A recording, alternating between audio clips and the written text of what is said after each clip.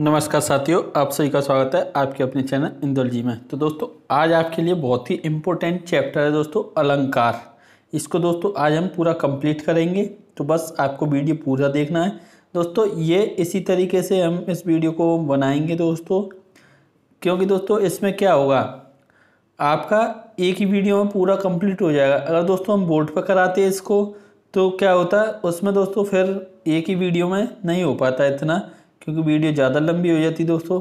तो इसी को आप देखें, आपको समझ में आएगा दोस्तों। अच्छे नोट्स हैं, ये सब अगर आपको नोट्स चाहिए दोस्तों तो आप कमेंट करके बता दें।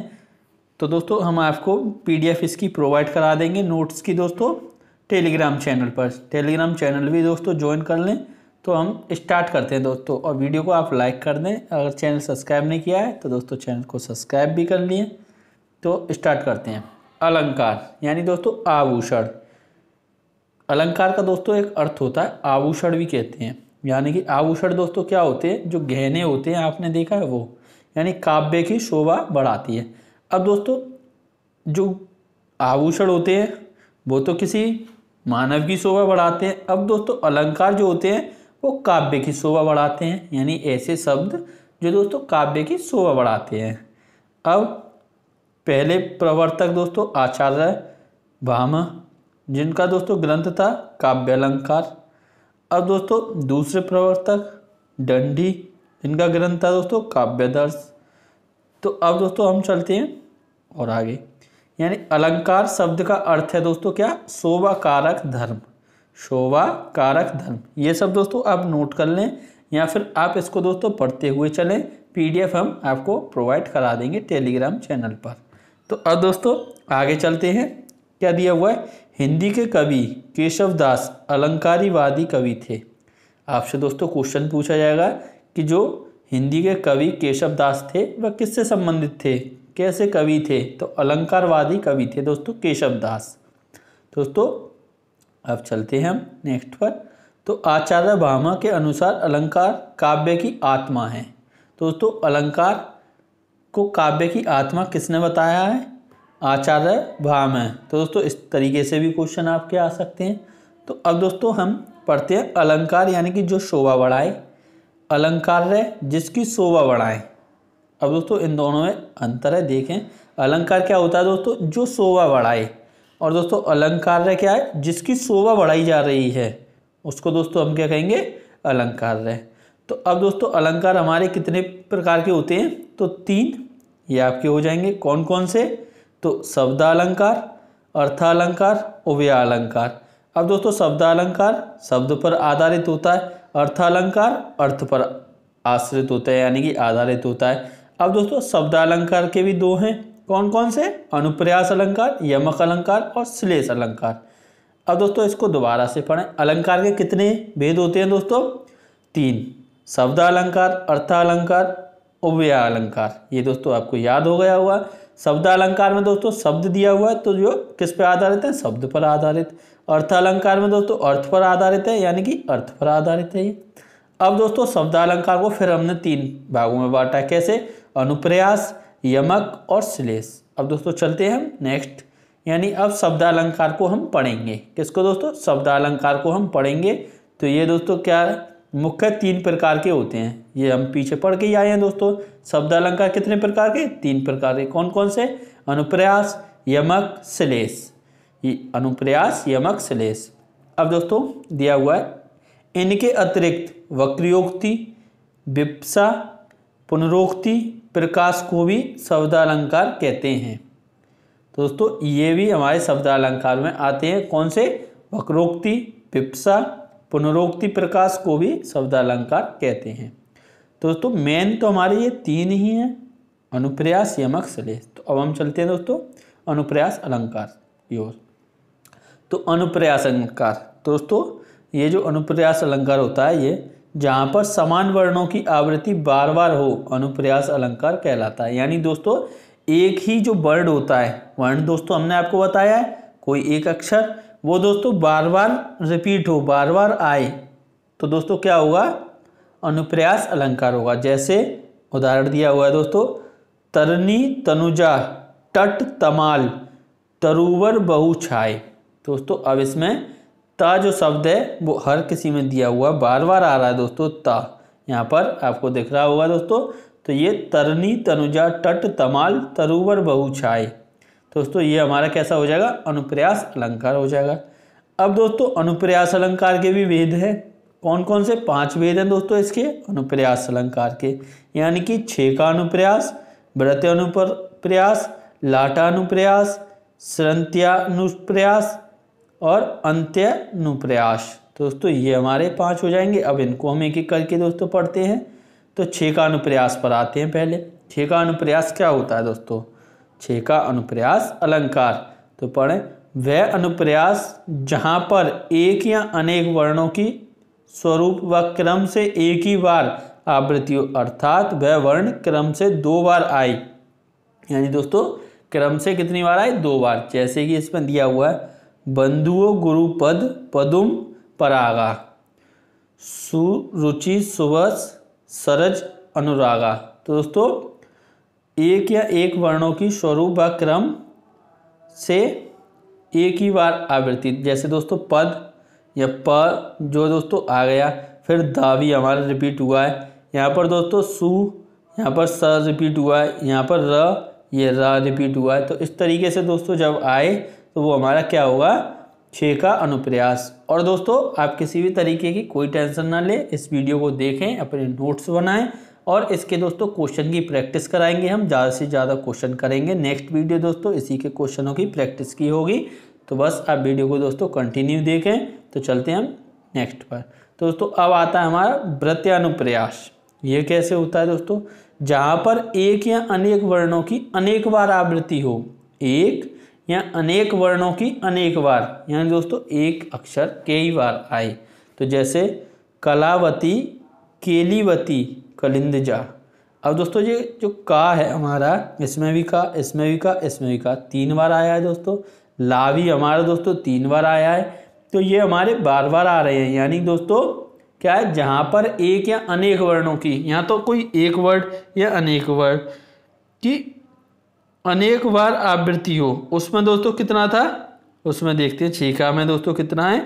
क्रम से एक ही बार आवृत्ति हो, लेकिन वहाँ पर अनेक बार आवृत्ति हो रही है। इसकी एक ही बार दोस्तों हुई है यहाँ पर यह भी एक बार आया है। तो इसी तरीके से दोस्तों इसकी तीन बार आवृत्ति हुई है। तो अब हम चलते हैं, आगे लाटानुप्रयास पर आते हैं। अब दोस्तों लाटानुप्रयास को पढ़ते हैं तो ये क्या दिया हुआ है?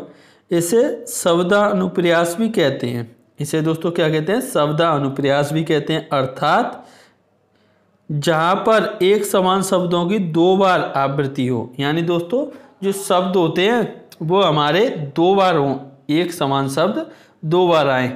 अर्थात जहाँ पर एक जैसा शब्द समूह एक से अधिक बार आता है, किंतु अन्वय करने पर विराम चिन्ह या किसी नवीन वर्ण के आ जाने से पूरा का पूरा अर्थ विपरीत हो जाता है। अब दोस्तों, क्या है इसका मतलब? समझे। यानी कि शब्द कोई सेम आ रहा है। शब्द जो है, वो सेम आ रहे हैं दोस्तों। लेकिन उसमें हम कोई ब्राह्म चिन्ह लगा दें, कोई कौमा लगा दें दोस्तों तो हमारा शब्द पूरा ही चेंज हो जाएगा। और दोस्तों, लाटानुप्रयास को शब्दानुप्रयास भी कहते हैं।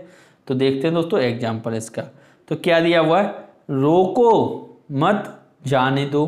यानी दोस्तों, रोको को हम ज़ोर से बोलेंगे, क्योंकि यहाँ पर कौमा लगा हुआ है।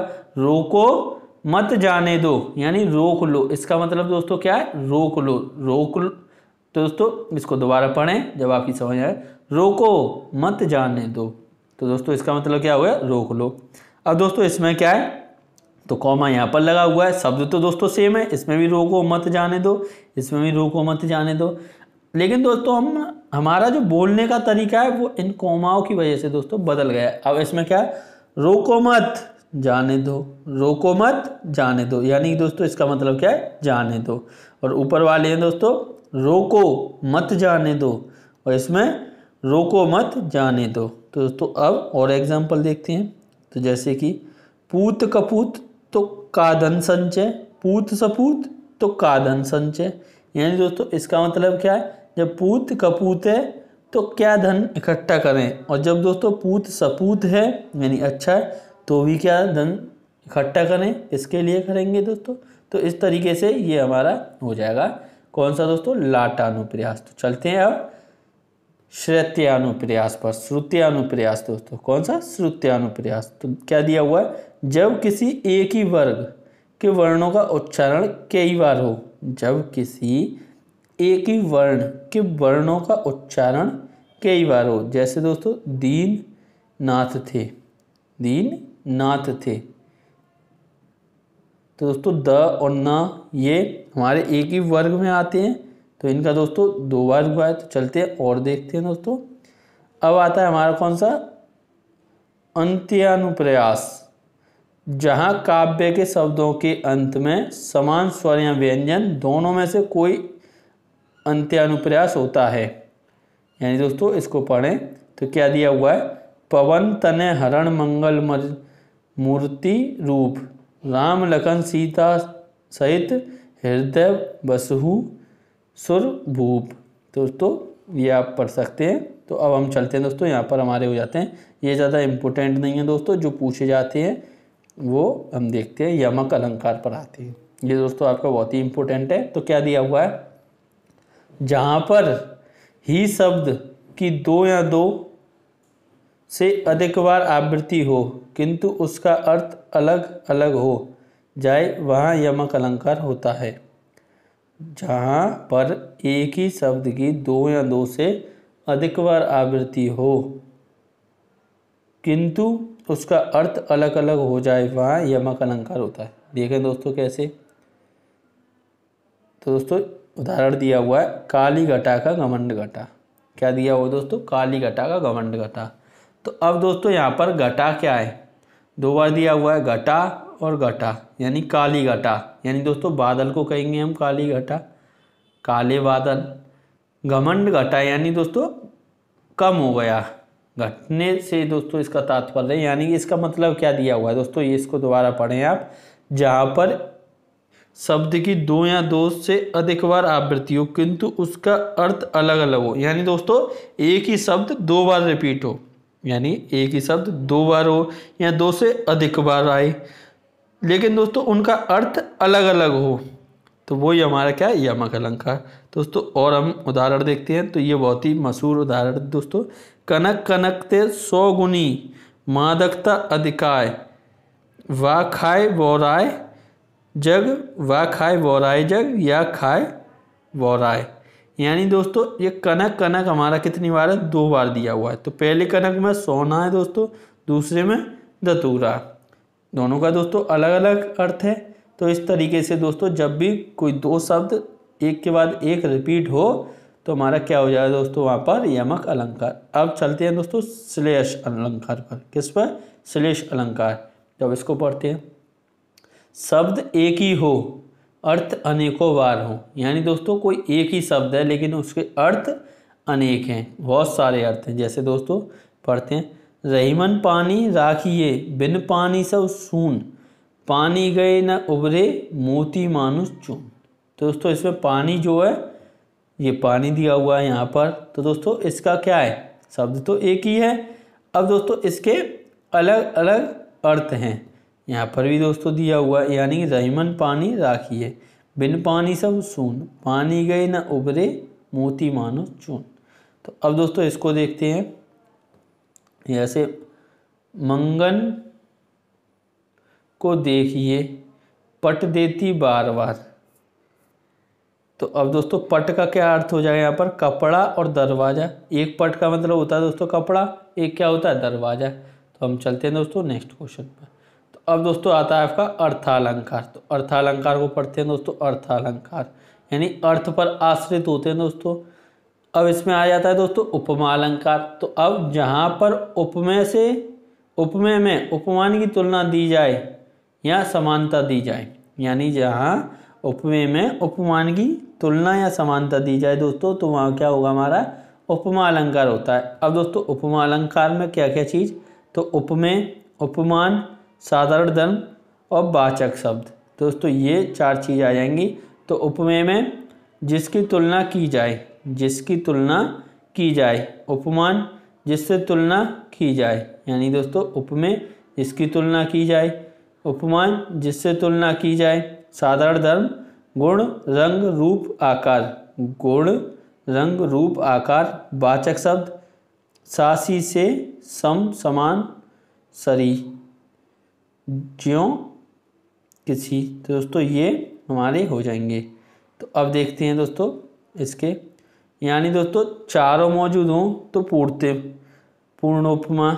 यानी दोस्तों, ये चारों चीज़ मौजूद है उपमेय उपमान साधारण धर्म और वाचक शब्द तो क्या हो जाएगा हमारा? पूर्ण उपमा। अब दोस्तों, चारों में से एक भी लुप्त हो तो लुप्त उपमा। क्या हो जाएगा दोस्तों? चारों में से एक भी हमारा लुप्त हो जाए तो क्या हो जाएगा? लुप्त उपमा। तो अब दोस्तों, यहाँ पर देखें, मुख चंद्र सा सुंदर है। तो दोस्तों, मुख हमारा क्या हो गया? उपमेय चंद्र उपमान, सा दोस्तों क्या है? वाचक शब्द और सुंदर क्या है? हमारा साधारण धर्म। अब दोस्तों, मुख चंद्र सा, यानी दोस्तों मुख की तुलना की जा रही है चंद्रमा से। तो अब दोस्तों, ये आपकी समझ में आया होगा कि मुख तो दोस्तों हमारा क्या हो गया? उपमेय यहाँ पर दिया हुआ है, जिसकी तुलना की जाए तो मुख की तो तुलना की जा रही है दोस्तों तो ये हमारा उपमेय हो गया। किससे की जा रही है? चंद्रमा से दोस्तों, यानी उपमान हो जाएगा ये। और सा दोस्तों यहाँ पर आ रहा है तो ये वाचक हो गया। और दोस्तों, कैसा सुंदर यानी कि रंग, रूप की बात हो रही है दोस्तों। तो ये उसका क्या हो गया, साधारण धर्म। तो अब हम चलते हैं दोस्तों, नेक्स्ट। तो अब ये दिया हुआ है, बरसा रहा है रवि अनल, भूतल तवासा जल रहा। यानी कि बरसा रहा है रवि अनल, भूतल रवासा जल रहा। अब दोस्तों, भूतल यानी ज़मीन।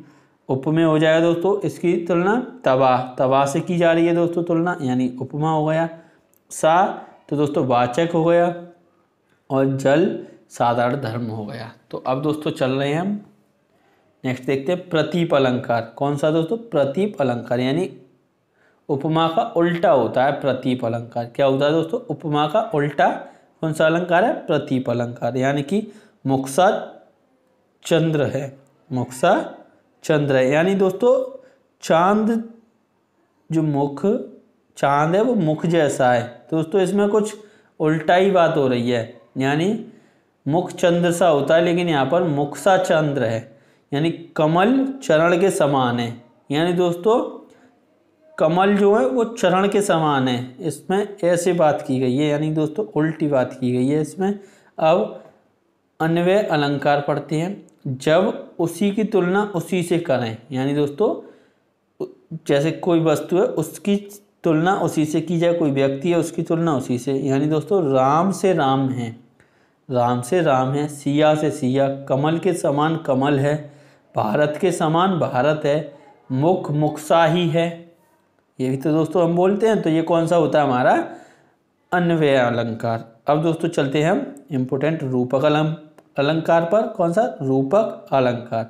जब उपमेय में उपमान का वेद रहित आरोप कर दिया जाए, यानी दोस्तों, जब उपमेय में उपमान का वेद रहित आरोप कर दिया जाए, दोस्तों, अब इसकी कंडीशन जल ही जीवन है। अब दोस्तों, किसी ने बता दिया, एकदम हंड्रेड परसेंट बात कह दी कि जल ही जीवन है और जल के बिना कुछ नहीं है। तो दोस्तों, क्या हो जाएगा हमारा रूप अलंकार। अब दोस्तों इसमें कह रहा है, मुख चंद्र है, यानी चंद्रमा को ही मुँह बना दिया इसने। मुख चंद्र है, यानी चंद्र जो है दोस्तों, वही मुख के कह दिया इसमें। तो ये एकदम भेद रहित आरोप कर दिया, आरोपित कर रहा है। यानी चरण कमल है। यानी दोस्तों जो चरण है, वो कमल हैं एकदम कह दिया, ऊँट रेगिस्तान का जहाज़ है। दोस्तों, ये हमारे क्या हो जाते हैं? रूपक अलंकार। अब दोस्तों आता है उत्प्रेक्षा अलंकार। कौन सा? उत्प्रेक्षा अलंकार। जब उपमेय में उपमान की संभावना हो, जब उपमेय में उपमान की संभावना हो या कल्पना हो, वहाँ पर उत्प्रेक्षा अलंकार होता है। वहाँ पर कौन सा दोस्तों? उत्प्रेक्षा अलंकार होता है। जैसे दोस्तों, मनु मानो, जनु जानो, मनु जनु आदि। ये सब चीज़ दोस्तों हों तो हमारा कौन सा हो जाता है? उत्प्रेक्षा अलंकार, यानी मनु मानो, जनु जानो मनु जनु आदि, ये शब्द आए दोस्तों तो कौन सा लगाकर आना है आपको? उत्प्रेक्षा अलंकार, जैसे चरण मानो कमल है। यानी दोस्तों, इसमें हमने मान लिया, चरण को कमल मान लिया, यानी चरण मानो कमल है। दूसरा देखते हैं दोस्तों, उस काल मारे क्रोध के तन कांपने लगा, उसका मानो हवा के वेग से सोता हुआ सागर जमा। दोस्तों, इसमें मानो आ गया तो हमारा उत्प्रेक्षा अलंकार हो जाएगा। तो चलते हैं दोस्तों संदेह अलंकार पर। कौन सा? संदेह अलंकार। तो अब इसको पढ़ें।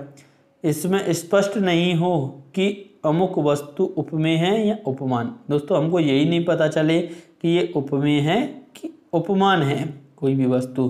दोस्तों, जैसे अब इसमें दिया हुआ है, जहाँ पर भी उपमेय या उपमान में संशय की स्थिति हो, वहाँ पर संदेह अलंकार होता है। यानी दोस्तों, हमको उपमेय और उपमान में पता नहीं चल पाए। जहाँ भी संदेह हो तो वहाँ पर दोस्तों, कौन सा होता है हमारा? संदेह अलंकार होता है। वाचक शब्द दोस्तों कौन से? या, की, किगो आदि। आ, की, किगो। दोस्तों, अब जैसे क्वेश्चन एग्ज़ाम्पल दिया हुआ है, चरण है या कमल? अब दोस्तों, हमको यही नहीं पता चल रहा कि चरण है या कमल तो किसकी तुलना तो की नहीं जा रही है दोस्तों? यही नहीं पता चल रहा कि कौन की तुलना किससे की जा रही है। तो ये हमारा दोस्तों क्या हो जाएगा?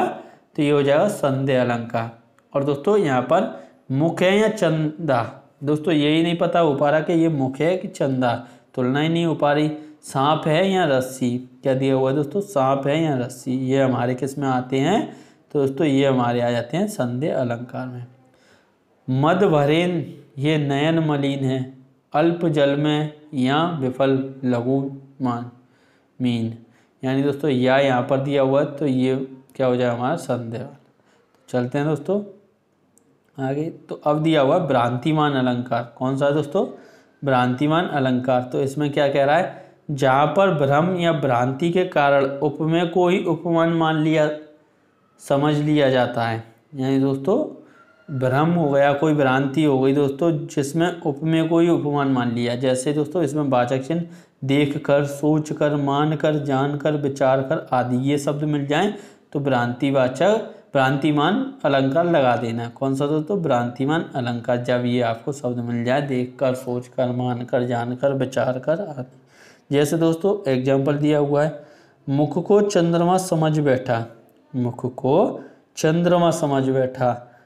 चरण को कमल समझ बैठा, चरण को कमल समझ बैठा। यानी दोस्तों, समझ यहाँ पर आ रहा है, यहाँ पर भी। तो दोस्तों, ये कैसा भ्रांति तो हो गई? कोई भ्रम हो गया दोस्तों उसको? वो समझ कर बैठ गया अब चलते हैं दोस्तों नेक्स्ट तो क्या आता है?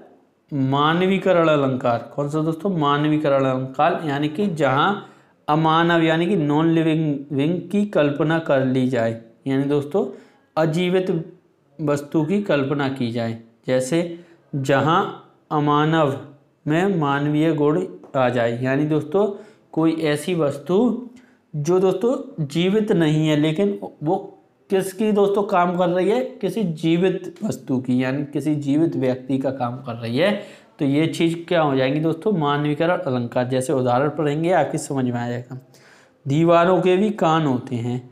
दोस्तों, दीवारों के कान आपने देखा है? तो ऐसा नहीं है दोस्तों तो दीवारों के कान होते हैं। तो यानी दोस्तों, जो मानवीय है, जो दोस्तों मानव कर सकता है तो कान तो दोस्तों मानव के होते हैं, लेकिन यहाँ पर दीवारों के दिखा है। जब भी दोस्तों ऐसा हो तो मानवीय अलंकार होता है। जैसे दोस्तों, काम बोलता है तो दोस्तों काम बोलता है तो ये सब चीज़ें क्या है? मानवीकरण।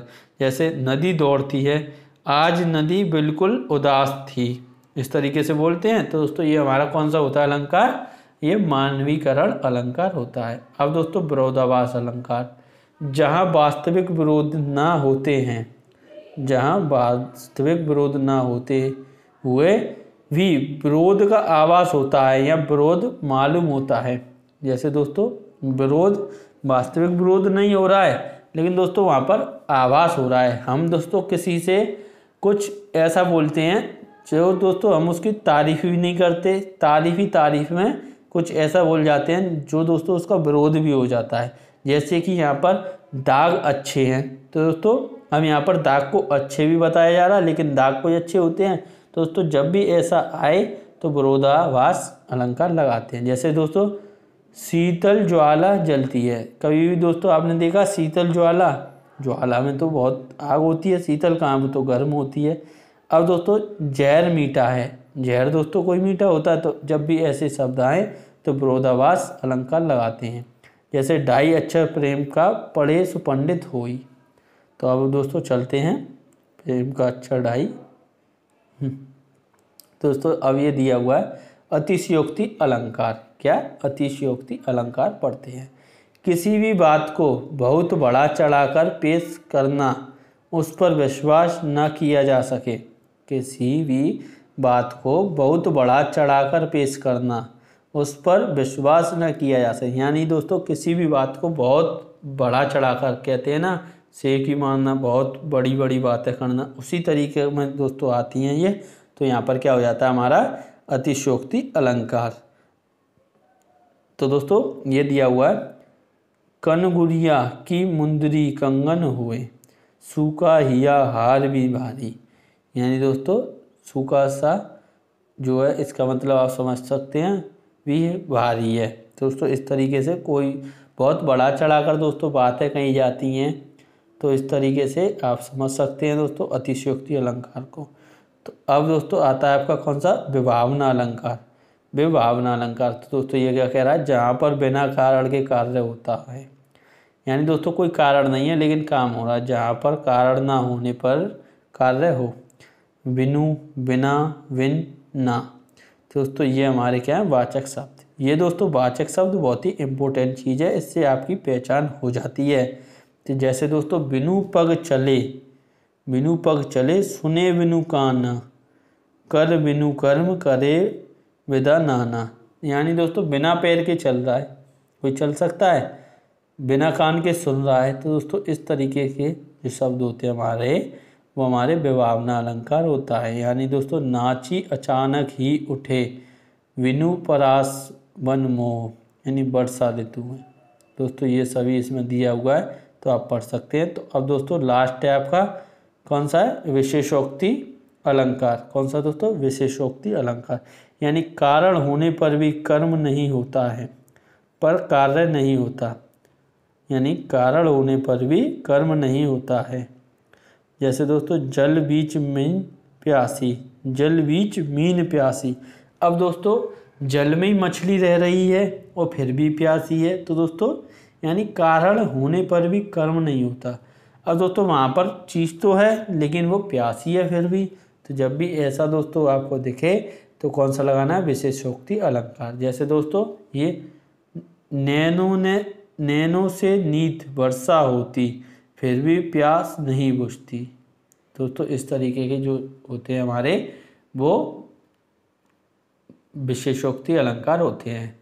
दोस्तों अब आता है हमारा असंगति अलंकार। कौन सा? असंगति अलंकार। जहाँ कारण कहीं और होता है व उसके परिणाम कहीं और होता है।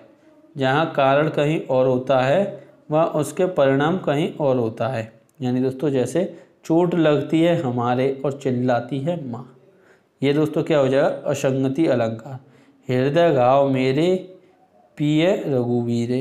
यानी दोस्तों हृदय घाव मेरे पिए रघुवीरे। अब दोस्तों आता है आपका लास्ट अवंदुति अलंकार। कौन सा दोस्तों? अवंदुति अलंकार। जहाँ पर उपमेय को निषेध कर अपमान, उपमान को स्थापित किया जाए। जहाँ पर उपमेय को निषेध कर उपमान को स्थापित किया जाए। दोस्तों, वहाँ क्या होता है हमारा? अवंदुति अलंकार। तो इसके एग्ज़ाम्पल पढ़ लेते हैं। मुख ही, मुख नहीं चंद्रमा है, चरण नहीं कमल है। पहले वाली बात नेगेटिव हो दोस्तों।